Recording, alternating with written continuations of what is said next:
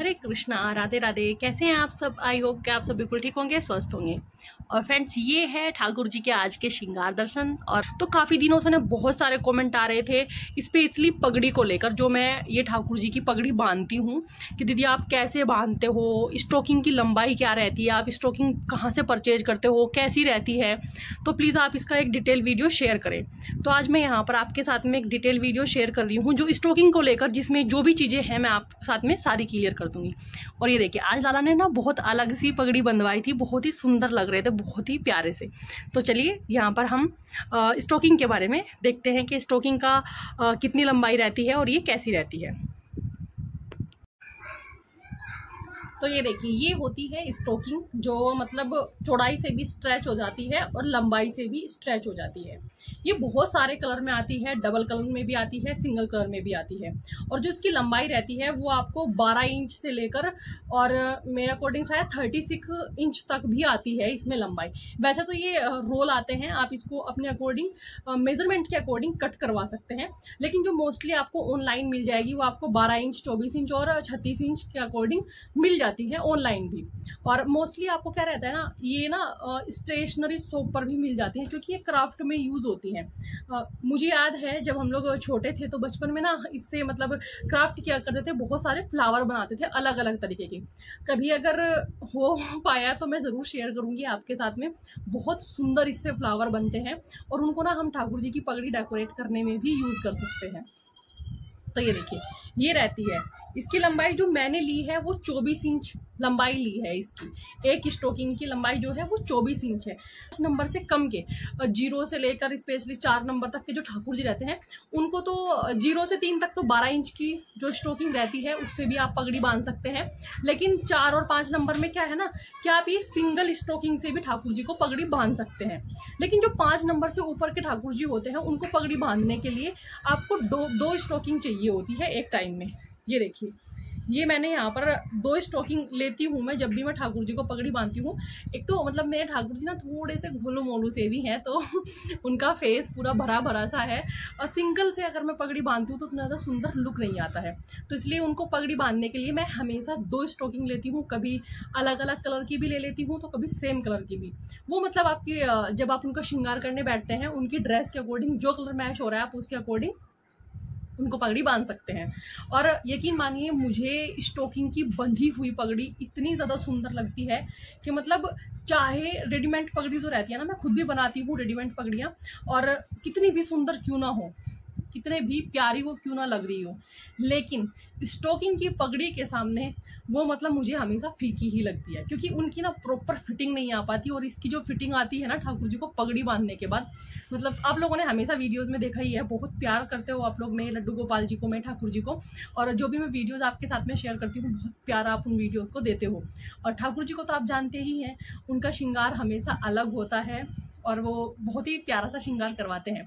Stocking की पगड़ी का फ़ायदा एक ये भी है कि आप ना अपने अकॉर्डिंग जैसे आपको लाइट बिल्कुल लाइट पगड़ी डेकोरेट करना है, कुछ भी ज़्यादा नहीं करना है, सिर्फ़ एक मोर पंख से उनका श्रृंगार करना है। तो आप बिल्कुल वैसे कर सकते हो। बहुत हैवी करना है हैवी भी कर सकते हो अटैचमेंट्स आप बहुत सारी ऐड कर सकते हो और मीडियम रखना है तो मीडियम भी रख सकते हो। ये स्टोकिंग का फ़ायदा रहता है। और क्योंकि स्टोकिंग क्या रहती है ना, ये मतलब इसका जो ये कपड़ा रहता है ना, ये सूती टाइप रहता है। तो ठाकुर जी को ना इसमें गर्मी भी नहीं लगती। और ये बिल्कुल ऐसे ना चिपक जाता है उनके सर के ऊपर, हिलता डुलता नहीं है। हाँ जो बिगनर्स हैं, उनके लिए ये है कि अगर वो लोग कपड़े के बजाय, जैसे कई बार रहता है कि पट्टियाँ बांधते हैं कॉटन की, या मतलब कुछ और यूज़ करते हैं उनकी पगड़ी बांधने के लिए, अगर उसके बजाय आप स्टोकिंग यूज़ करोगे, जो बिगनर्स हैं, यकीन मानिए बहुत ही सुंदर इससे पगड़ी बंधेगी। तो चलिए, अब हम जल्दी से उनको पगड़ी बांधते हैं, क्योंकि वीडियो बहुत ज़्यादा लंबा हो रहा है। ये देखिए, आप इसको स्टोकिंग से जो पगड़ी है, वो आप जब अगर ठाकुर जी को आप हेयर लगाना चाहते हैं तो उसके ऊपर भी बाँध सकते हैं और अगर नहीं लगाना चाहते हैं, तब भी आप बाँध सकते हैं। कोई दिक्कत नहीं होगी। ये आपके ऊपर अगर आप इसको ऐसे ही रखना चाहते हो तो आप इसको ऐसे ही रख सकते हो या आप इसको हल्का सा फोल्ड करना चाहते हो, तब भी आप इसको फोल्ड कर सकते हो। ये देखिए, ये जो इसका सिरा है, ये हम ऐसे पीछे की साइड से लेंगे और बस कुछ भी नहीं करना है। ये देखिए, यहाँ से बस ना इस तरीके से ऐसे रोल करना है। ये देखिए। बहुत ही सिंपल तरीके से ये देखिए। बिल्कुल हमें ना गोल करना है। जो ठाकुर जी के सर पे यहाँ से शुरू करेंगे हम इसको बिल्कुल गोल गोल बनाना। जैसे ही हमारी तीन लेयर कंप्लीट हो जाएँगी। ये देखिए, अभी हम फोर्थ लेयर पे आ गए हैं तो इसको ना बस हमें यहाँ पर हल्का सा नीचे की साइड करना है। ये देखिए।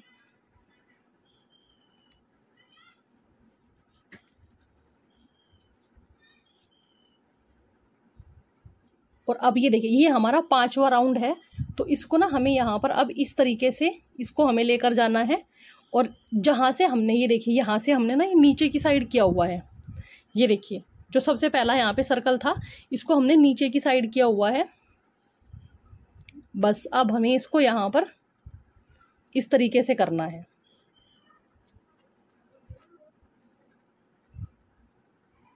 और बहुत ज़्यादा खींचना भी नहीं है स्टोकिंग को कि कभी आप ये सोचें कि मतलब हमें बहुत ज़्यादा खींच के बांधना है। नहीं, बिल्कुल भी नहीं। इसको आप बस नॉर्मल पकड़िए, ये देखिए। जैसे आप पगड़ी की सेप देना चाहते हैं, बिल्कुल इसको ना आप वैसे करते चले जाएँ, ये देखिए।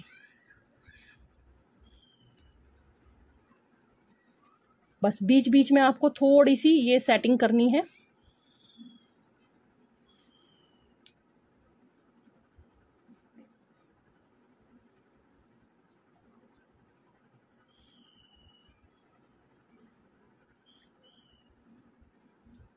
और ये देखिए।